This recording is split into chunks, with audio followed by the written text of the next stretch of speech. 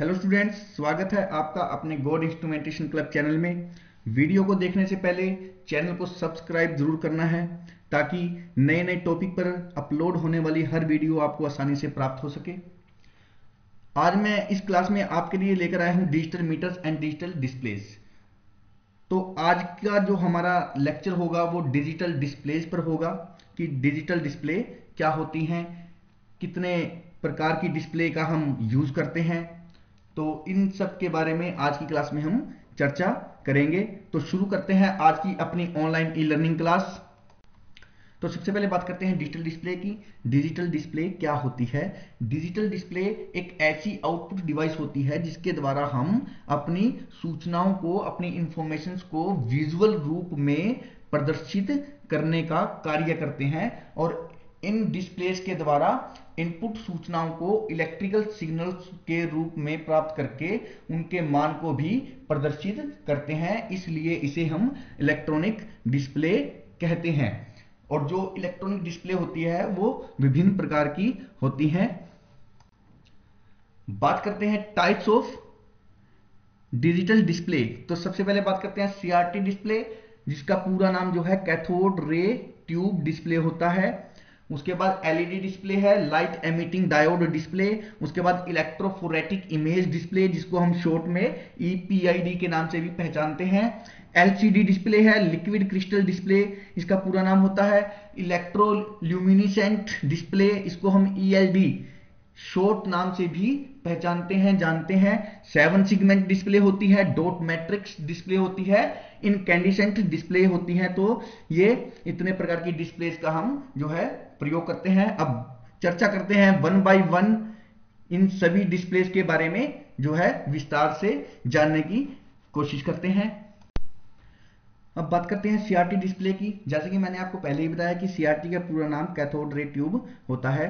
तो जो हमारी सीआरटी डिस्प्ले होती है, वो एक ऐसी डिस्प्ले होती है जिसके द्वारा स्क्रीन पर वीडियो सिग्नल को एक इमेज के रूप में, एक पिक्चर के रूप में पैदा किया जाता है, बनाया जाता है।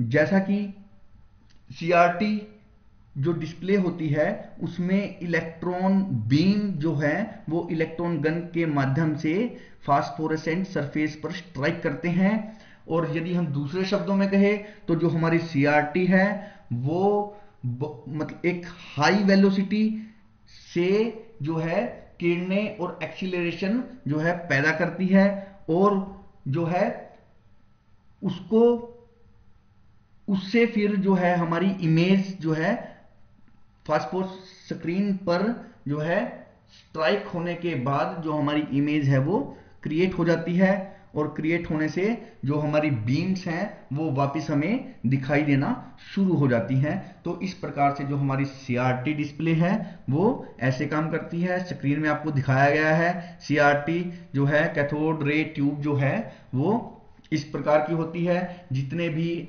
आप, आज से पहले हमारे टीवी हमारे जो मॉनिटर जो हमारे कंप्यूटर्स के जो स्क्रीन हुआ करती है हुआ करती थी, वो सारी की सारी जो है सीआरटी डिस्प्ले के द्वारा तैयार होती थी। तो बात करते हैं एलईडी डिस्प्ले की। जैसे कि मैंने आपको बताया कि एलईडी का पूरा नाम जो है वो लाइट एमिटिंग डायोड डिस्प्ले होता है। जो हमारी एलईडी डिस्प्ले होती है, वो एक फ्लैट पैनल डिस्प्ले होती है, जिसका प्रयोग जो है हम लाइट एमिटिंग डायोड्स की श्रेणी को पिक्सल के रूप में वीडियो डिस्प्ले करने के लिए करते हैं। और जो उनकी ब्राइटनेस होती है, वो उन्हें आउटडोर आउटडोर मतलब जहाँ पर जो है सूर्य की रोशनी होती है, सूर्य की रोशनी में भी उनको जो हमारे स्टोर साइंस या बिल बिल बोर्ड्स होते हैं, उनको दिखाने के लिए जो है अनुमति प्रदान करती है। और इन रिसेंट ईयर्स जो हमारे, जो हमारा वर्तमान समय है, इस वर्तमान समय में हम इनका जो यूज़ है आमतौर पर जो है पब्लिक ट्रांसपोर्ट व्हीकल्स में डेस्टिनेशन साइंस जितने भी डेस्टिनेशन साइन हैं हमारे, जैसे कि हमारी रोडवेज़ हरियाणा रोडवेज़ हमारी किसी भी स्टेट की रोडवेज़ की बसेज हैं, उनमें भी हम जो है एलईडी डिस्प्ले का यूज़ करते हैं, जिस पर जो है एक जो है प्रोग्रामिंग फ़ीड करने के बाद एक लाइन चलती रहती है कि उसका जो डेस्टिनेशन है वो कैसे है, जैसे कि एक जो हमारी रोडवेज़ की बस है, वो चंडीगढ़ से दिल्ली के लिए चली है। तो बीच में जितने भी स्टॉपेज आएँगे, उसमें जो प्रोग्रामिंग के द्वारा वो स्टॉपेज वो जो है डेस्टिनेशन जो है हम फ़ीड करते हैं और इस हिसाब से उस एलईडी पर जो है हमारा डेस्टिनेशन चलता रहता है कि चंडीगढ़, अंबाला, कुरुक्षेत्र करनाल इस प्रकार से जो है, दिल्ली तक के जितने भी स्टॉपेज आएँगे बीच में, उन सभी का जो डेस्टिनेशन है उस स्क्रीन पर चलता रहता है। तो हम अपने पब्लिक ट्रांसपोर्ट व्हीकल जितने भी है, उनमें भी हम एलईडी का यूज़ प्रयोग करना हमने शुरू कर दिया है। और इसके अलावा इसके साथ साथ जितने भी हाईवे पर जो साइंस होते हैं मैसेज जिनसे हमें मिलता है कि जैसे कि जो है आपकी गाड़ी की स्पीड के बारे में कोई मैसेज हो या आगे रोड पर जो है कोई एकदम से घुमावदार जो है टर्न है, मोड है, ऐसे साइनों के लिए भी जो है हम जो है एलईडी डिस्प्ले का प्रयोग करते हैं।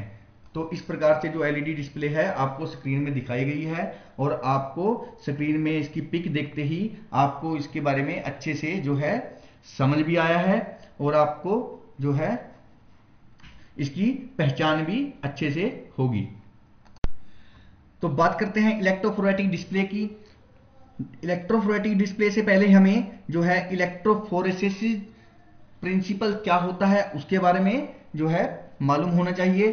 तो जो हमारा इलेक्ट्रोफोरेसिस प्रिंसिपल होता है, वो किसी तरल पदार्थ में सस्पेंडेड चार्ज पिगमेंट कणों के इलेक्ट्रिक फ़ील्ड में गति करने को जो है इलेक्ट्राफोरेसिस कहा जाता है। इलेक्ट्राफोरेटिक इमेज डिस्प्ले में इस प्रिंसिपल का, इस सिद्धांत का उपयोग किया जाता है और जो हमारी इलेक्ट्रोफोरेटिक डिस्प्ले होती है, वो पैसिव या एक्टिव दोनों प्रकार की हो सकती है। तो इस प्रकार से जो है हमारी इलेक्ट्रोफोरेटिक डिस्प्ले का भी हम यूज़ करते हैं और जो उसकी कंस्ट्रक्शन है स्ट्रक्चर ऑफ़ ईपीआईडी जो है, इसको हम शॉर्ट में ईपीआईडी के नाम से भी जानते हैं।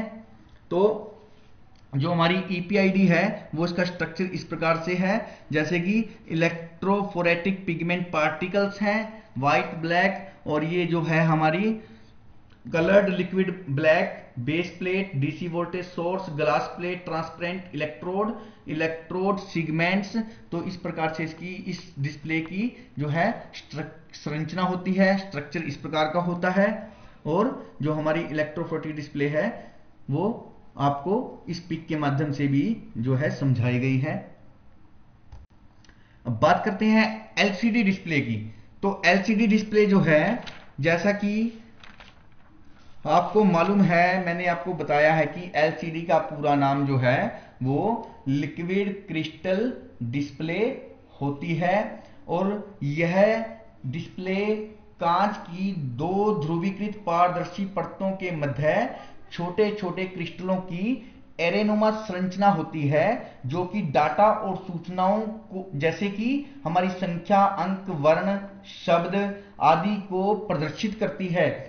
इसमें कांच की दो प्लेटों के मध्य लिक्विड क्रिस्टल पदार्थ होता है और इसका उपयोग इलेक्ट्रॉनिक प्रोजेक्ट तथा प्रयोगशालाओं में प्रयुक्त डिजिटल मीटर मीटरों में जो है, डिस्प्ले के रूप में प्रमुखता से किया जाता है।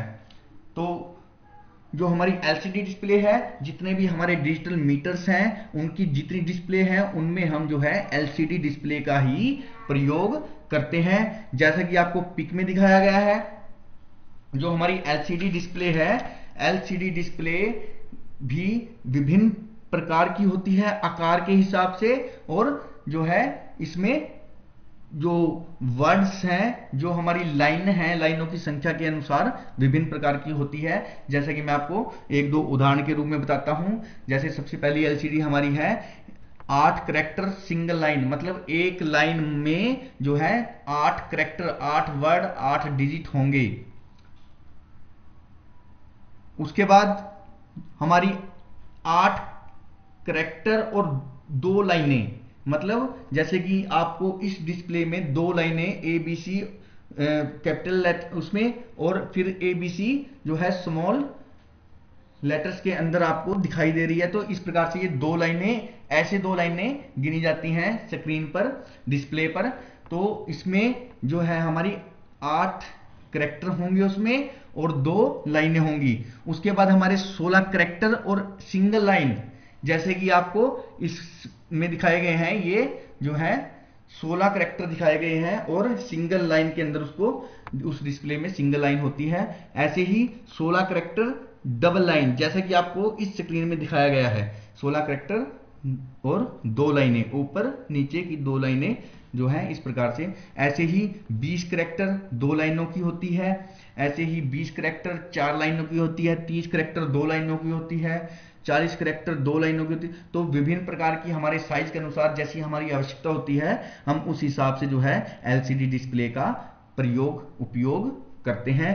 तो आज की क्लास में हम ने सिर्फ़ इन चार डिस्प्ले के बारे में जाना है।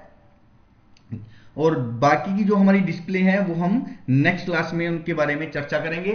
तो जो हमारी आज की डिस्प्ले थी, जैसे कि हमारी सीआरटी डिस्प्ले थी एलईडी डिस्प्ले थी, ठीक है? और उसके बाद जो है हमारी इलेक्ट्रोफोरेटिक डिस्प्ले थी, और इमेज और चौथे नंबर जो हमारी एलसीडी डिस्प्ले है।